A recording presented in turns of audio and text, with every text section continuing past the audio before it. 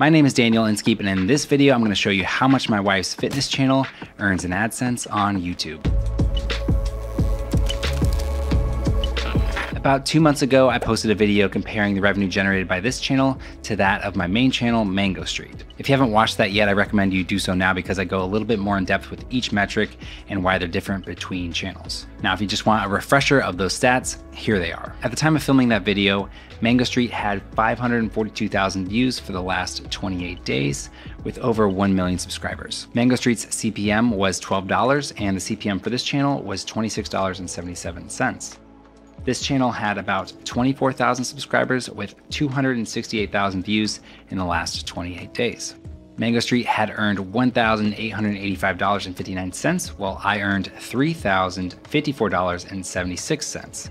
So with 49% fewer views, I earned 62% more. Since the video topics on this channel demand a higher ad rate because they are about finances and making money online. Now, when I put this video out in September, my wife's fitness channel had just recently enabled monetization and she wasn't really earning more than a couple of bucks. Yeah, oh, don't say bucks, that's not ladylike. However, now that her channel has surpassed mine in subscribers and she's getting more and more views, I thought it'd be interesting to see how her earnings stack up to Mango Street and this channel. What's interesting about a fitness channel is there is so much more potential for videos to be watched over and over again by the same people. If we think about our channel Mango Street, where we demonstrate photography photography techniques or show behind the scenes of a shoot. If you're interested in that topic, you might watch that video once, maybe twice, but you're probably not watching it more than that. Whereas if it's a workout video and you enjoy the workout, you may be doing it multiple times a week for several months, depending on your exercising habits and goals. If we look at one of the biggest, if not the biggest, fitness YouTubers, Chloe Ting,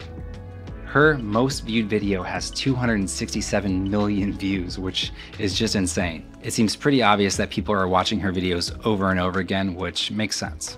So while the fitness space online is generally a pretty crowded niche, it does show there's a potential to get a lot of views even with a smaller audience. You just need to carve out a small fraction of the overall fitness market and you can start generating some pretty serious cash. Now that we know how one might be able to clock views, the real question is how much are all of these views worth to advertisers? So first, let's get some updated numbers from this channel and Mango Street.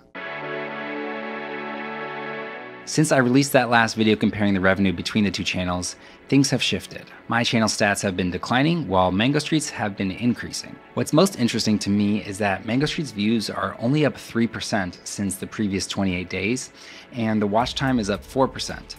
But the revenue is up a whopping 31%.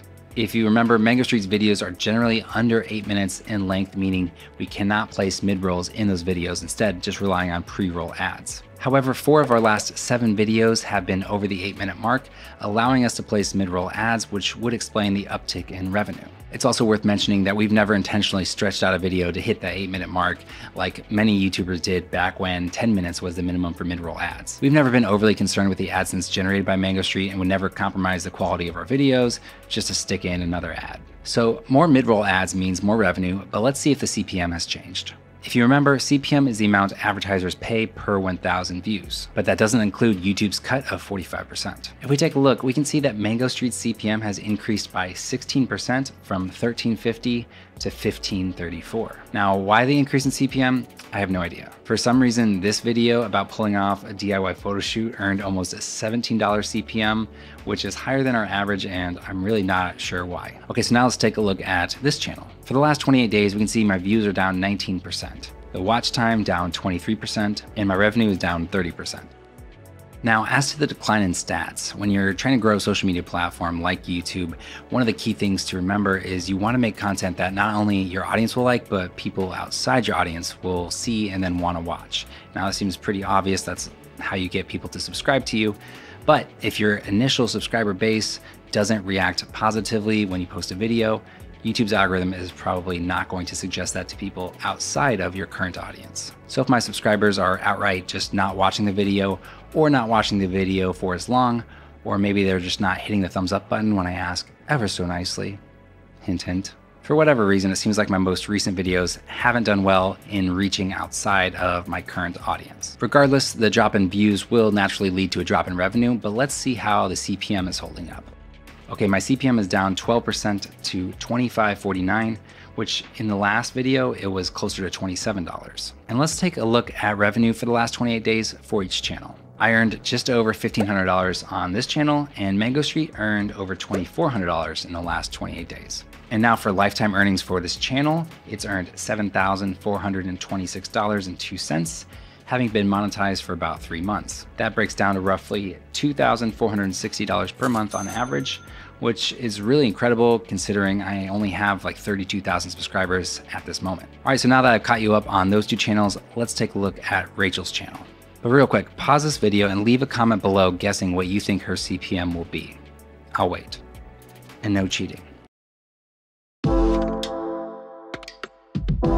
Okay, so first of all, she started her channel on July 27th, the same time I did, but unlike me, she has been consistently putting out three videos a week ever since. Although her growth started a little slower than mine ever since the middle of October, she's been snowballing.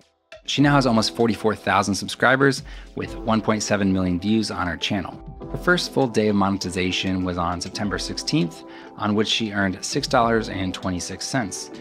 And we can see her channel consistently earned under $10 until October 11th, when she earned $12.67. With her channel growth snowballing, her revenue really ramped up, hitting a peak of $146.58 on October 20th.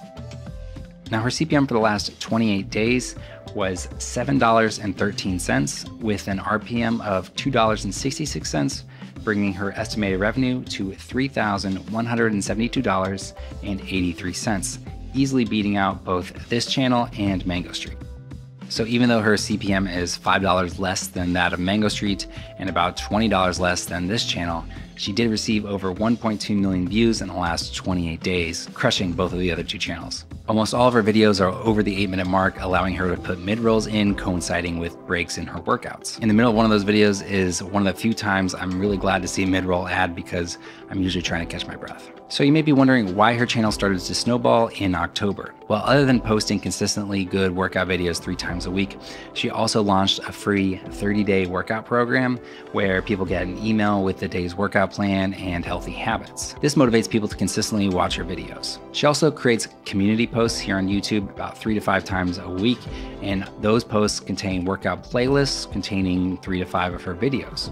I think those two strategies really helped increase her views, and then since it performed well with her audience, it was then recommended to people outside her subscriber base. Her highest earning video is a burn 500 calories video, which is a 30 minute workout. It's super challenging, but it has generated almost $1,900 with almost 690,000 views. This is the video that started being suggested to people outside her normal subscriber base. So her lifetime earnings for this channel is $3,888.94. And now here's a final comparison between all three channels for the last 28 days. It obviously took her a ton of work and a ton of effort to get her channel set up for success, which is why I recommend if you're looking to start a YouTube channel, make sure it's a niche that you're passionate about. Don't go into a niche just because it has a high CPM, because if you're not passionate about it, you're gonna hate all the time you spend working on it, and that passion is not gonna show through in videos, and you're gonna have a hard time growing your channel. Rachel has the low CPM rate out of all three channels, but because she put in the extra work to consistently put out three videos a week, and then put in the extra effort to help her channel snowball, she out-earned the other two channels. I hope this video gave you even more insight into how much channels on YouTube can earn do me a solid and hit that thumbs up button. Subscribe if you haven't already, and I will see you in the next one.